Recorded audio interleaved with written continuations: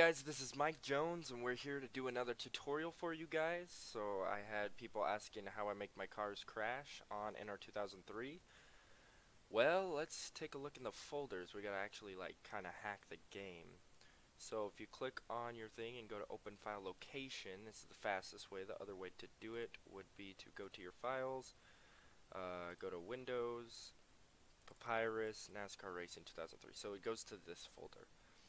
Anyway, you want to change the way they race at certain tracks to make them crash. So you want to go to your tracks folder, and we'll do uh, we'll do Daytona, I guess, as a example. So we got all the folders in the Daytona track.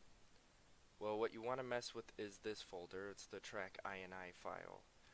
So before you always do it, you want to make sure that you copy it first so that if you do screw up the track file you can go back and fix it. So now you can open your track file. The one that it's going to use is going to be the one that's just called track. So the one called copy if you need to go back you'll need to rename it track if you had a problem with this one. Anyway so it will give you the name of it all this stuff that doesn't really matter I don't think. And then you go down to grip. This is how fast they're gonna go how much grip they got basically if you go too high on the grip, the cars will start bouncing like crazy. I don't know if it's just a glitch in the game or what. That's pretty cool. But the main thing that I mess with is the line modifier right here and the drafting distance. So at big super speedways where you're going full throttle, the line modifier won't do anything. So the line modifier basically is how hard they're pushing going in and coming out of the corner I'd say they're on the gas a little earlier if you go above one and they'll do it a little bit less if you go lower. So normally it's at these are set for the 100% difficulties. That's why if you put the difficulty at 110% there's more crashes because they are going too high and they're hitting the wall coming out of the corner normally. That's why uh, Bristol's one of the biggest ones where so many cars are hitting the wall coming out of the corner if you're on 110% difficulty. So you'd need to drop this down. I think I have it at 0.91, I believe, at my Bristol one settings right now.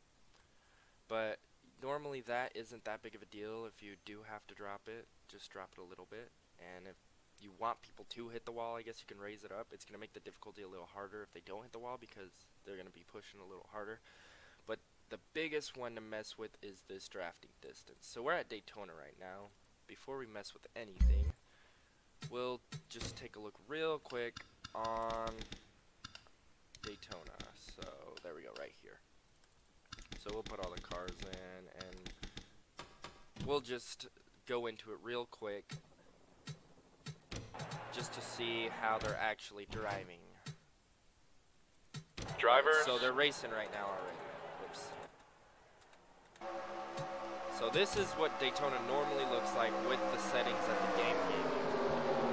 Where well, sometimes, once in a while, they'll go three wide, but they're drafting 1.55, so this is 1.55 away from each other. Alright? Well, people want them to crash, right? I mean, that's what this video is for. Let's change this to 1.05. That means, actually, you know what? We'll put it to 1.00. That means they'll be bump drafting the whole time. So we'll save that. Now, you'll want to mess with this. The, the lower the drafting distance, the more crashes. That's all there is to it. But if you go below, below 1, their drafting is actually hitting each other. They will crash every second. So it's not good to have it too low. This is even too low. I heard the best is 1.07 to go to as the lowest, but we're trying to show off them crashes. Drivers, cars. So, so already you can see that they're already a little bit more crazy. Let's go one lap in advance. Oh, they're already crashing. We missed it. Well.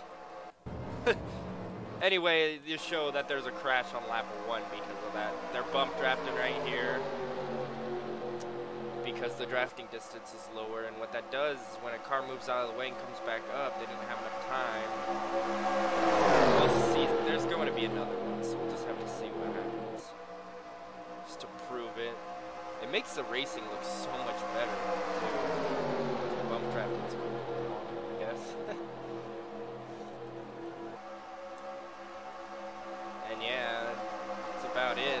I, don't put it this low because I don't want to wreck every lap because there would have been a caution and then they'd be stacked up again. Because that last crash, I can't even show you what happened.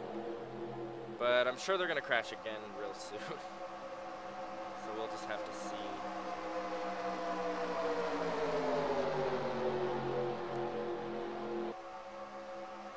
And I guess, so, oh, they're four wide. And you get a bigger chance of getting four wide. Contact and stuff going on, so yeah.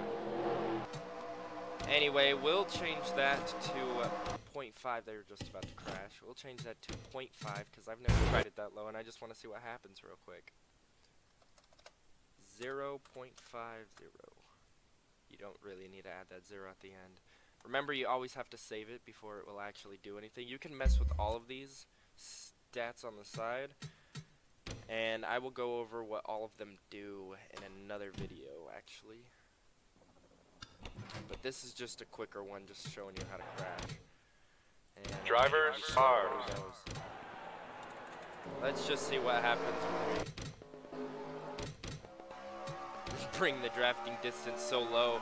They're gonna not make it in the first corner because it's 0.5, which means they're not even gonna let off the gas.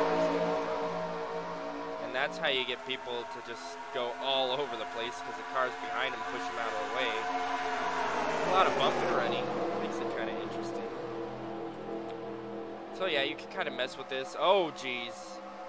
Oh, jeez. Kerbert's going to come back on the track. Caught a big one. Watch this right here. Oh, man. There was already crashing involved. There's your crash for the day, guys. I hope you enjoyed this video, and I hope it helped. If you enjoyed it, please like and subscribe for more, and comment any other suggestions for future tutorials, and we'll see you guys next time.